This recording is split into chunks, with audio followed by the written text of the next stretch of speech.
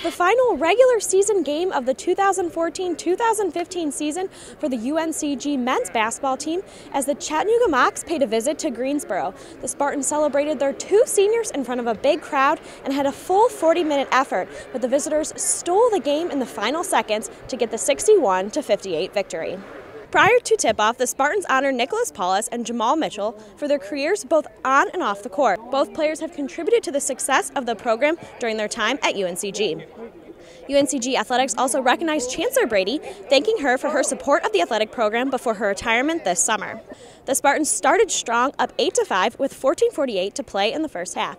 The blue and gold looked good on both ends, taking two charges in the short span. Chattanooga led 11 to 8 at the under 12 media timeout. The Mocs were winning the battle of the boards, and the Spartans were plagued by turnovers. Five quick points from Assad Lamont helped fuel a five-point lead for the Spartans, 18 to 13, with 6:01 to go in the first half.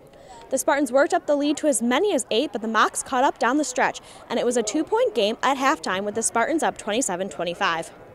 UNCG came out of the break with energy and led 38-29 at the under 16 media timeout. Chattanooga was looking to chip away at the lead, but the Spartans led 45-42 with 11-12 to play. By the under 8 media timeout, Chattanooga was on top 48-46, and this regular season finale was shaping up to be a thriller down the stretch. With 3.38 to play, the Mocs held a three-point advantage, 53-50.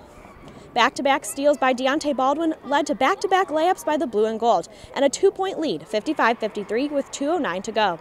Chattanooga was back on top 58-57 with 46.1 seconds left, but the Spartans had possession. Baldwin made one of two from the free throw line to knot the game at 58, and Chattanooga called a timeout with 11.3 seconds remaining on the clock.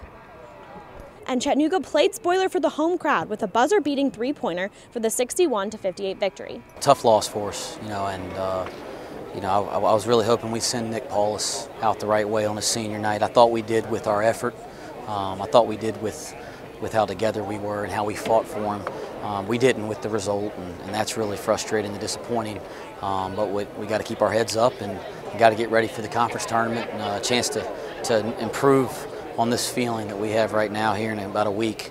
Um, you know, got to give Chattanooga a ton of credit. Ron Rico hits a big time shot to win the game, and and uh, you know that's that's that's a big time play. And I thought we played really good D, put ourselves in position to send it to overtime, and he just made a big play.